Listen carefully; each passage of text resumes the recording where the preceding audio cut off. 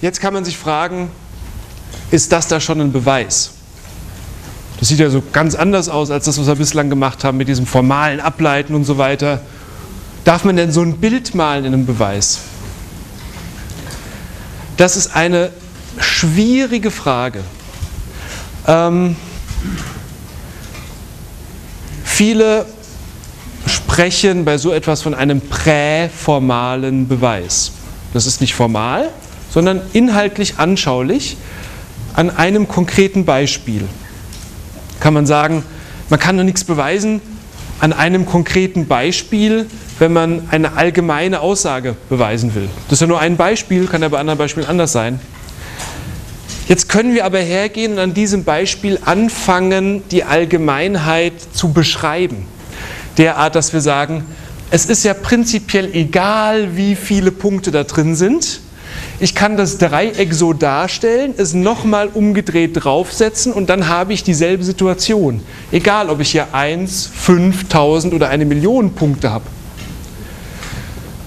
Das heißt, wenn man jetzt anhand dieses konkreten, inhaltlich anschaulichen Beispiels allgemein oder die Allgemeinheit dadurch herstellt, dass man argumentiert und alle hier davon überzeugt sind, dann würde ich sagen, es ist ein Beweis. Ja? Wenn keiner von Ihnen ein Gegenargument findet, würde ich sagen, es ist ein Beweis. Es ist ein präformaler Beweis, nicht formal. Ja? Aber so ein Bauch so ein ungutes Bauchgefühl bleibt vielleicht schon beim einen oder anderen. Ja? Deswegen sage ich, es ist, nicht, es ist keine einfache Frage zu sagen, ob das hier ein Beweis ist oder nicht. Es hängt so ein bisschen vom Kontext ab. Und es hat schon eine starke Beweiskraft, so ein Bild. Man versteht, warum diese Formel zustande kommt und kann sich auch den allgemeinen Fall, ja, wie soll ich sagen, erklären. Ja? So. Jetzt möchte ich aber genau an diesem Beispiel nochmal vollständige Induktion mit Ihnen machen. Man kann es auch formal beweisen. Ne? Und das machen wir jetzt mit vollständiger Induktion.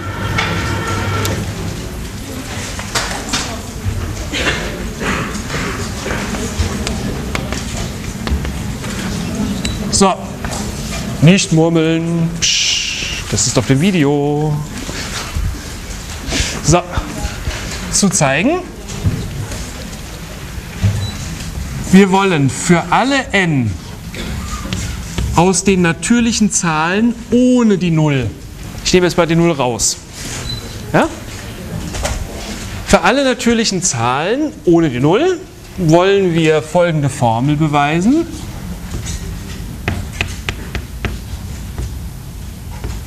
Die Summe der ersten n natürlichen Zahlen ist gleich n mal n plus 1 halbe. So.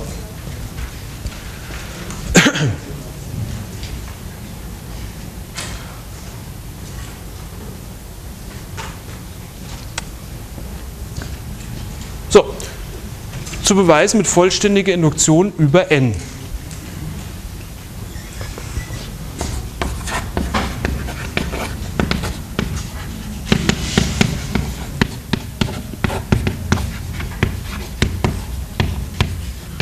Wir wollen es ja für alle n zeigen, also müssen wir die Induktion über n machen.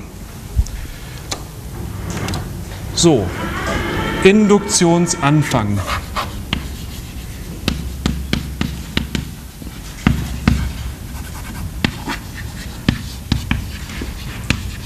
Sie erinnern sich an das Domino-Prinzip. Wir müssen zeigen, dass der erste Stein fällt. Also der, der, wir müssen jetzt sozusagen die Aussage für die kleinste hier vorliegende Zahl beweisen. Was ist denn die kleinste Zahl in unserem Fall? Ja? 1, genau. Wir haben die Null nicht mit dabei, also ist, n die, ist 1 die kleinste Zahl, also ist im Induktionsanfang n gleich 1. So. Ähm, in den Übungen und auch in der Diskussion äh, in der letzten Woche ist die Frage entstanden, wie man eigentlich eine Gleichheit zeigt. Aus der Schule sind Sie Folgendes gewöhnt. Sie schreiben sich die Gleichung hin, was zu zeigen ist, links gleich rechts, und formen beide Seiten so lange um, bis irgendwie 0 gleich 0 unten rauskommt. Ja, dann sind Sie zufrieden. Ist nicht falsch, ist aber nicht schön. Schöner ist, wenn man eine Gleichung zeigen will, wenn man auf der linken Seite beginnt und so lange umformt, bis man auf der rechten Seite rauskommt. Das ist eine Frage der Ästhetik. Mathematiker, das ist vielleicht auch überraschend, sind äußerst ästhetische Menschen. Ja, ja. Ich habe nicht gesagt, dass sie schön sind. ich habe gesagt, dass sie, dass sie Ästhetik lieben. Ja, so meinte ich das. okay. Ein Beweis, einfach einen Beweis hinzuschreiben, damit ist man noch nicht zufrieden. Es muss ein schöner Beweis sein. Das ist wichtig. Ein schöner Beweis, wo Mathematiker dann beim Tee Nachmittag sitzen und sagen, guck mal, was für ein schöner Beweis. Ja? Ach ja, schöner Beweis. Deswegen machen wir hier schöne Beweise. Und Sie sollten auch mal versuchen, schöne Beweise hinzukriegen, dass Sie danach sagen, ah Mensch, schön. Ja? Dass Sie es übers Bett hängen können danach. Nehmen das Bild von der Bundeskanzlerin. Zack, schöner Beweis.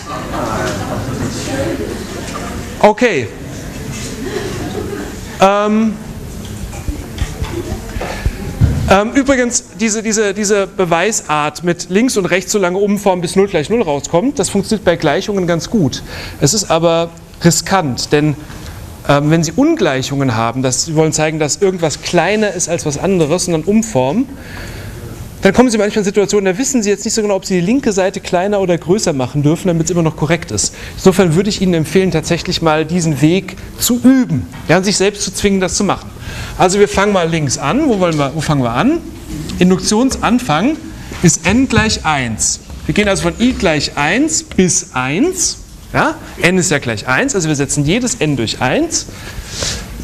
Das ist der linke Teil. Und hier rechts wollen wir rauskommen. Ist gleich 1 mal 1 plus 1 halbe. So. So, wenn ich jetzt hier starte, ja, diese Schleife sozusagen mit i wandern lasse, wandert i von 1 bis 1. Das ist nur ein Fall. Also i ist nur 1. Also kann ich hinschreiben, das ist 1. Weil wie komme ich jetzt von da nach da? Na, ich fange mal rechts an, arbeite mich nach links vor. Ja? Kann man auch machen. Ne? Man kann sich so zur Mitte hinarbeiten. Wenn man da nicht mehr weiter weiß, also wie soll ich das jetzt hier umformen, ist ein bisschen kompliziert, kann man auch da weitermachen. Das hier ist ja gleich 1 mal 2 durch 2. Das ist gleich 2 halbe. Das ist gleich 1. Fertig. Ja, ich bin jetzt von links und rechts vorgegangen, so bis ich mich irgendwie getroffen habe. Lesen tut sich das aber schön. Ja? Das hier ist gleich 1. 1 ist gleich 2 halbe, das ist gleich 1 mal 2 halbe, ist gleich 1 mal 1 plus 1 halbe und das ist genau das, was oben rauskommen soll.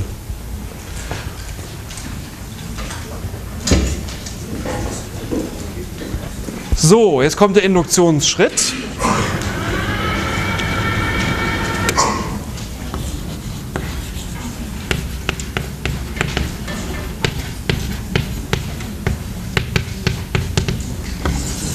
Wir schließen, und das war diese komische äh, Schlängelschreibweise, die ich so als Abkürzung verwende, wir schließen von n gleich k, schließen wir auf n gleich k plus 1. So. Nicht Sigma k, ja?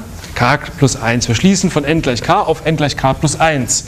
Das heißt, wir beweisen jetzt, wenn wir davon ausgehen, es gilt für eine Zahl k, dann gilt es auch für den Nachfolger.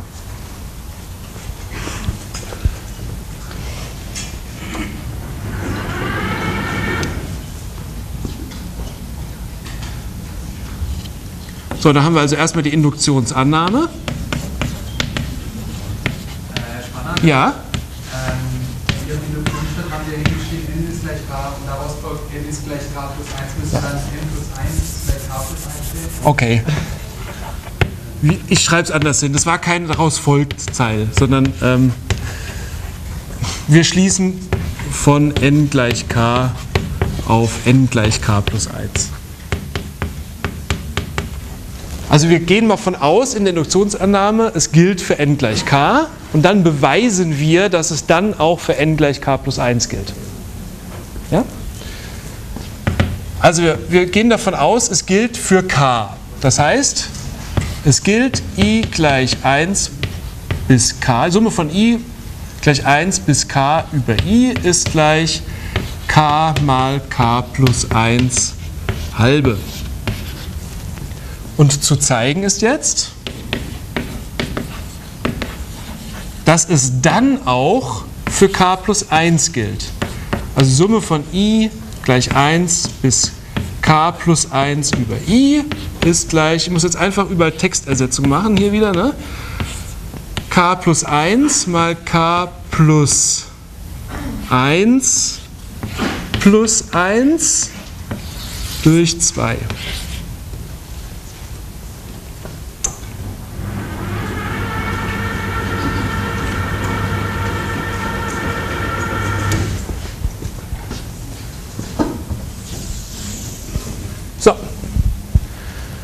Und jetzt machen wir es wieder genau so. Wir müssen jetzt also zeigen, dass das hier unten gilt. Ne? Das ist eine Gleichung. Also wir beginnen links und formen so lange um, bis wir rechts rauskommen.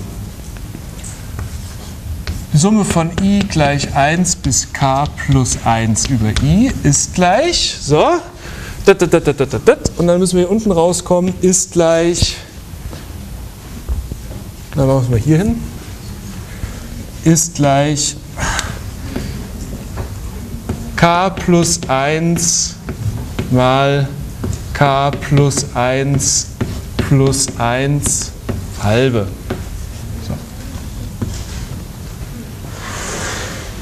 So.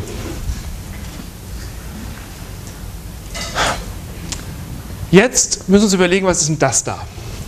Wir müssen in der Induktions, in der Induktions Induktionsschritt ja immer irgendwo in unseren Umformungen hier die Induktionsannahme verwenden. Ne? Müssen wir überlegen, wie kommen wir dahin? Wie kommen wir dahin, dass wir die Induktionsannahme verwenden können? Also entweder muss dann beim Umformen irgendwo mal das hier stehen oder das hier stehen, sodass wir das eine durch das andere ersetzen können. Dann haben wir die Induktionsannahme verwendet. Ja? Machen, bis äh, den letzten Teil rausziehen und dann kann man die Funktionsannahme setzen. Genau. Wir können den letzten Teil rausziehen. Diese Summe von i gleich 1 bis k plus 1 über i ist ja das gleiche, wenn ich nur die Summe bis k bilde und am Ende nochmal k plus 1 draufzähle. Ne? Ich lasse die Summe nur bis k laufen, nicht bis k plus 1, sondern nur bis k und zähle am Ende nochmal extra k plus 1 drauf. Ja? Ich habe hier die Zahlen 1 plus 2 plus 3 plus, plus k plus k plus 1. Also nehme ich den Teil von 1 plus 2 plus, plus k nehme ich raus, schreibe ihn so hin und das plus k plus 1 noch hinten dran. So, jetzt kann ich die Induktionsannahme verwenden. Das schreibe ich jetzt mal hier hin, da ich das mache. Ja? Ich weiß, die Summe von i gleich 1 bis k über i ist gleich k mal k plus 1 halbe. Kann ich also, das ist jetzt nicht das. k mal k plus 1 halbe plus k plus 1. So.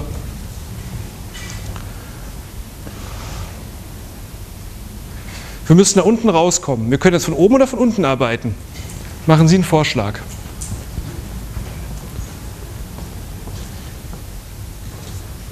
Wie können wir weitermachen? Ja?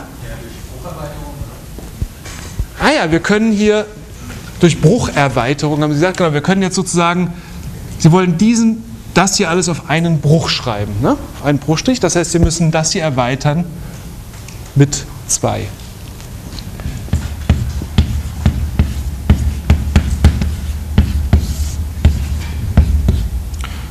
Ja, das ist dasselbe wie zwei halbe mal das.